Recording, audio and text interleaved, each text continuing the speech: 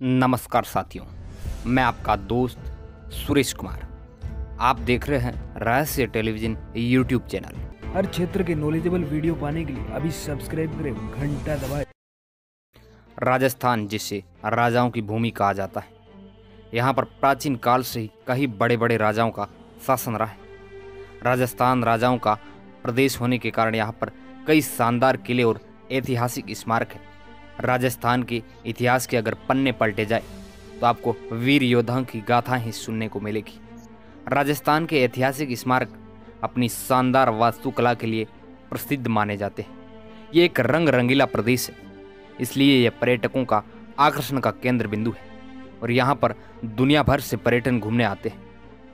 तो चलिए आपको ऐसे ही दस राजस्थान के प्रमुख किलों के बारे में जानकारी देते हैं। तब इस वीडियो के अंत तक ज़रूर बने रहिएगा। नंबर एक, आमेर का किला जयपुर। आमेर का किला जयपुर का ही नहीं, बल्कि पूरे राजस्थान का बेस्ट टूरिस्ट प्लेस में से एक है।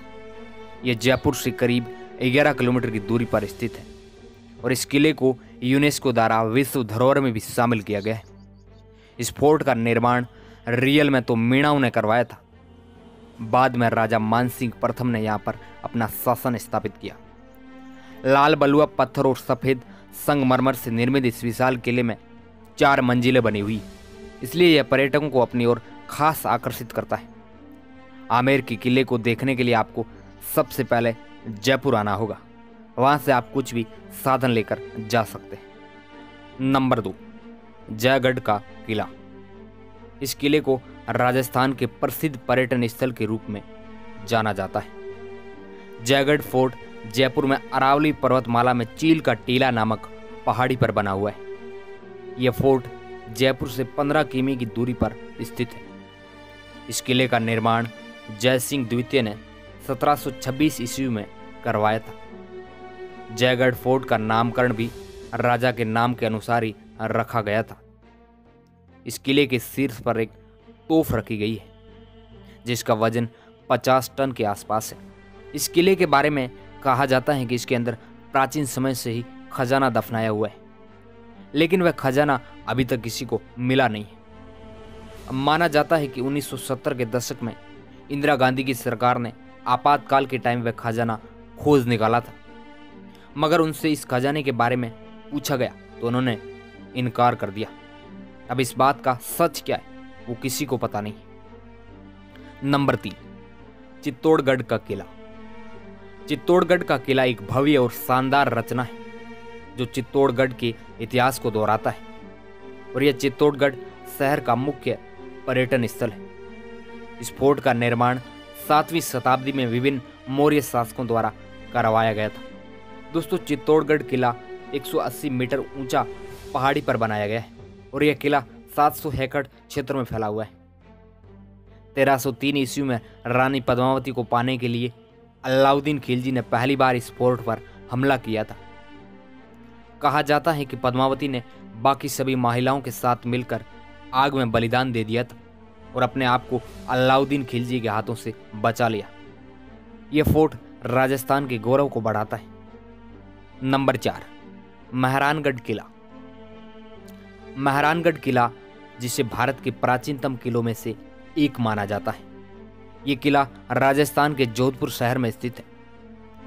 महरानगढ़ फोर्ट का निर्माण 1460 ईस्वी में राव जोधा ने करवाया था। दोस्तों, यह किला शहर से 410 फीट की ऊंचाई पर बना हुआ है, जो बड़ी बड़ी दीवारों से घिरा हुआ है। इस किले में सात दरवाजे हैं। महरानगढ़ किले में बना म्यूज़ियम राजस्थान के बेहतरीन और सबसे प्रसिद्ध म्यूज़ियम में से एक माना जाता है। इस म्यूज़ियम के अंदर पुराने शाही पालकियों को रखा गया है। नंबर पाँच, नाहरगढ़ का किला। अरावली श्रृंखला के बीच बना यह किला जयपुर के गौरव को बढ़ाता है। आमेर किले और जयगढ़ किले के साथ नाहरगढ़ किला जयपुर शहर की सुरक्षा का काम करता है। इस किले का निर्माण जयपुर के राजा स्वाई जय सिंह ने करवाया था। जिसका निर्माण कार्य 1734 में पूरा हुआ था। नाहरगढ़ किले से जयपुर सिटी का नज़ारा बहुत ही मनमोहक लगता है। इस किले का नाम प्राचीन समय में सुदर्शन गढ़ था। नाहरगढ़ किले का नामकरण जयपुर के राजकुमार नाहर के नाम से रखा गया था। नंबर छ सिटी पैलेस। राजस्थान की जयपुर सिटी में स्थित सिटी पैलेस एक महल परिसर है। इस खूबसूरत महल में कई इमारतें, विशाल आँगन और आकर्षक बाग है, जो इस महल परिसर के इतिहास की निशानी है। सिटी पैलेस महल में प्राचीन समय के कीमती सामानों को सुरक्षित रखा गया है। यह महल दिखने में सुंदर और मनमोहक लगता है। इस कारण दुनिया भर से हज़ारों पर्यटन इस महल को देखने के लिए आते हैं। सिटी पैलेस का निर्माण महाराजा स्वय जय सिंह ने सत्रह से सत्रह सौ बत्तीस के बीच करवाया था। नंबर सात। जूनागढ़ का किला। जूनागढ़ का किला राजस्थान के बीकानेर में स्थित है। पहले इस फोर्ट का नाम चिंतामणि था, मगर 20वीं शताब्दी में उसे बदलकर इस किले का नाम जूनागढ़ रख दिया गया। दोस्तों, इस किले का निर्माण राजा राज सिंह द्वारा वर्ष पंद्रह में करवाया गया था। यह विशाल किला कई खूबसूरत महलों से घिरा हुआ है, जिसमें यहाँ का अनूप महल सोने की पत्ती चित्रों के लिए प्रसिद्ध है। चंद्र महल चूने के प्लास्टर पर किए जाने वाले उत्तम चित्रों से सजा हुआ है। इस किले के निर्माण में लाल बलुआ पत्थर का उपयोग किया गया है। इसमें नौ लंबी दीवारें और सैंतीस गढ़ बने हुए इस किले के महल बहुत ही सुंदर है। नंबर आठ, सोनार का किला जैसलमेर। जैसलमेर जो कि पर्यटन के आकर्षण का केंद्र है। ये किला शहर के बीचों बीच में बना हुआ है।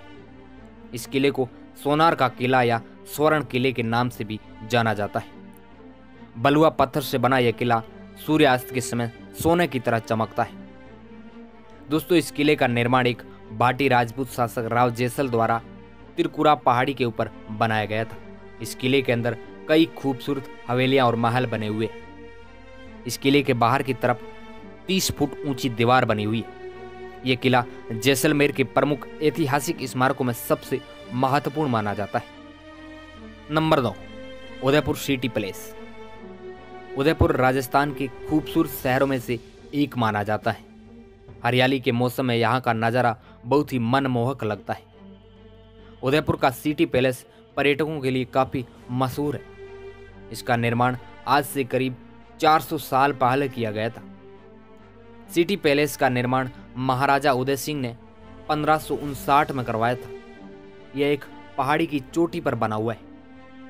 इस महल का निर्माण ग्यारह पड़ाव में किया गया था। सिटी प्लेस में घूमने का समय सुबह साढ़े नौ बजे से शाम साढ़े पाँच बजे तक है। नंबर दस, हवा महल। हवा महल राजस्थान की राजधानी जयपुर में बना एक राजशाही महल है।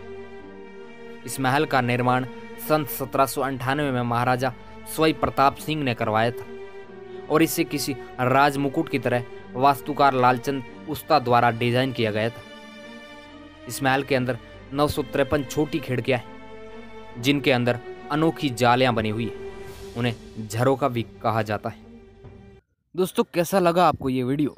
अगर आपको वीडियो अच्छा लगता है तो इसको लाइक ज़रूर करिएगा और हमारे चैनल को सब्सक्राइब करना नहीं भूलें। धन्यवाद।